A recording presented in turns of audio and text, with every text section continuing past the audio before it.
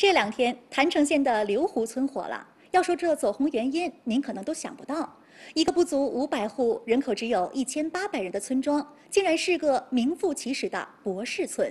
这些年来，村里走出了十六名博士、三十多名硕士和一百多名本科生。难道这里有什么人才教育的密码吗？你听说没？咱隔壁家老王那个孙子要上北大了。啊，真是吗？很厉害的。哎呦，这也没什么，我家的孩子都在上海外企工作了，还是个白领呢。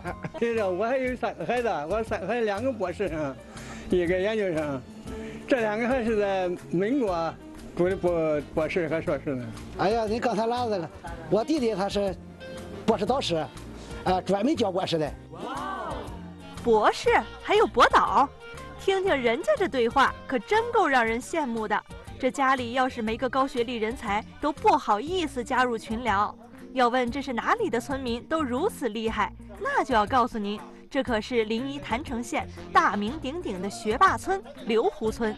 这个不足五百户、人口只有一千八百人的小村庄，多年来走出了十六位博士和三十多名研究生。村民们都说，这可不是偶然的，因为俺们这个村儿风气特别正，孩子能吃苦，上学要求上进心特别强。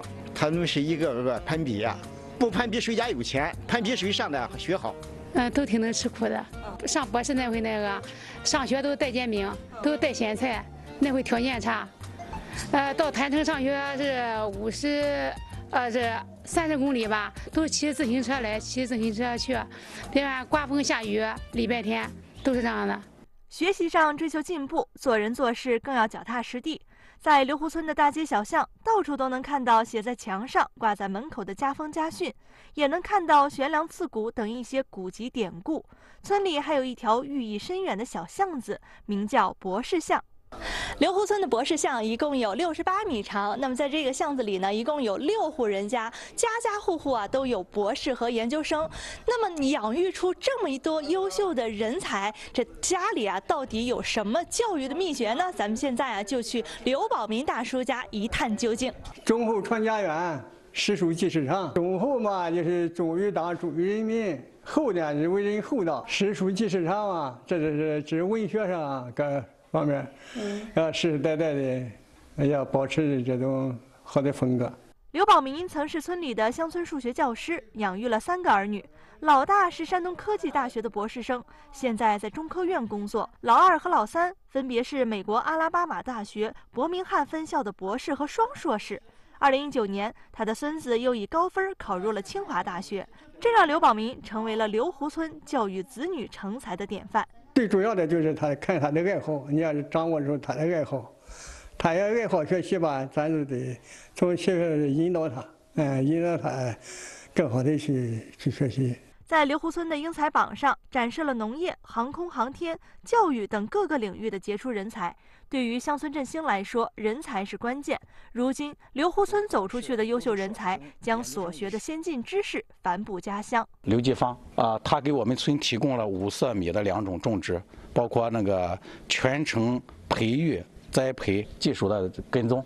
所以说，我们村里现在这个搞这个五色米种植啊，只要我们所需要的，就是没有我们办不到的。因为我们村人才多。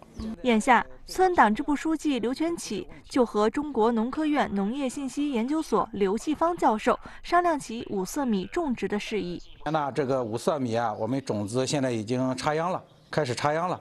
后期呢，需要一些技术上的，呃，这些问题呢，我再随时给你去咨询。